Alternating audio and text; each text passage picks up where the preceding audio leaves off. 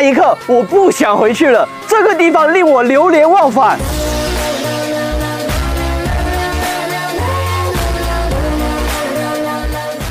哎，我一汽车博主怎么能吃吃喝喝不工作？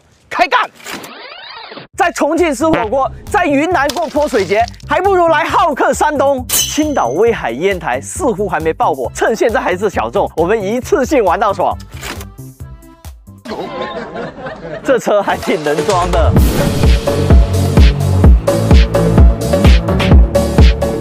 这里是我来青岛的第一个打卡点——胶州湾跨海大桥，全长四十二点二三公里。我们把 L 二点五级别驾驶打开，看看它的能耐。这跨海大桥够牛。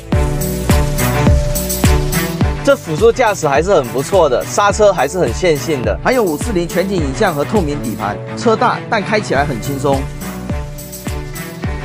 开了三个小时，终于迎来了我青岛的第一顿。现在来到了崂山的羊口，先来瓶。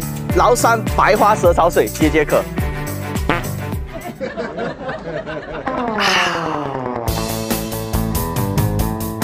吃饱喝足，继续出发。Q Q。你好，优米。下午好。导航到崂山书院，途经黄山村码头。找到以下结果，看看去哪一个吧。这语音识别能力挺精准、挺快的，八幺五五芯片能打，而且竖放的大屏更好看地图和仪表盘，HUD 联动更便捷。你们会有这种感觉吗？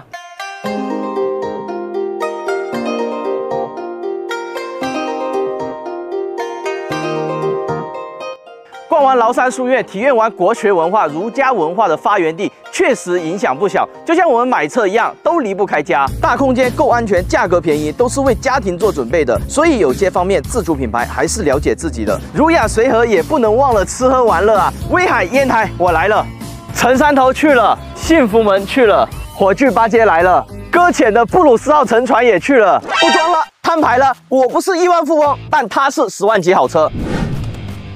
麦弗逊加多连杆独立悬架，还有铝合金前后转向节、高强度钢控制臂等，在跑山的时候还挺扎实，家庭用车杠杠的。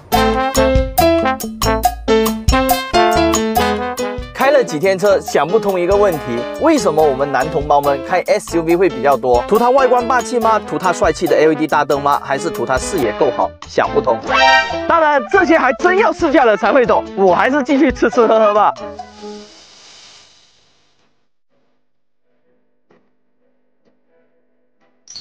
狗哥，这事你一点没说啊？